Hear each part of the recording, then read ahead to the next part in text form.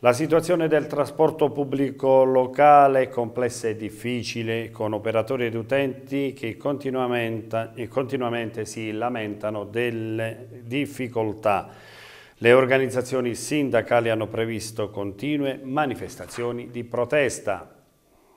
L'isolamento del Molise non è solo un fatto concettuale, è un fatto di normalità assoluta, di indicibili ritardi strutturali, con i molisani chiusi nel loro universo di disservizi e disagi, lontani anni luce da una esistenza leggermente adeguata. Prendi ad esempio, tra l'altro, il trasporto pubblico locale, un disastro, con i dipendenti delle varie imprese accompagnati dalle organizzazioni sindacali che hanno deciso di manifestare continuamente proprio contro i disagi della categoria, che dopo scioperi ed astensioni si stanno misurando con una sorta di agitazione permanente, fatta di presidi delle sedi istituzionali e segnalazioni dei disagi che sono continui e disastrosi. È impensabile possibile che in una, in una, regione come tutte le altre del resto dove sono ripartite le attività produttive, economiche e sociali i servizi di trasporto siano ancora invece fermi a quelli che sono stati assicurati nel periodo di piena emergenza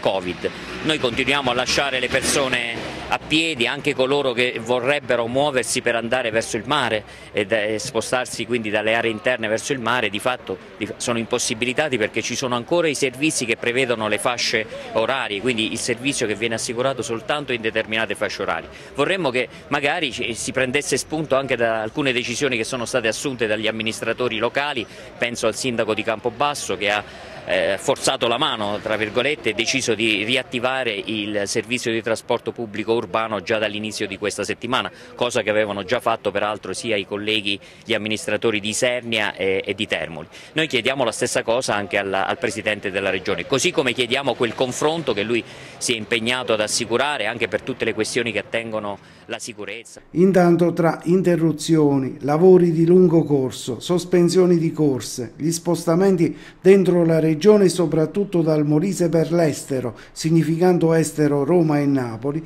sono infinitamente difficili, con tragitti pieni di insidie, rallentamenti micidiali, velocità normalizzata a passo di lumaca, multe sempre in agguato, robe terribili specialmente per quelli che si devono recare altrove per motivi di lavoro e di studio.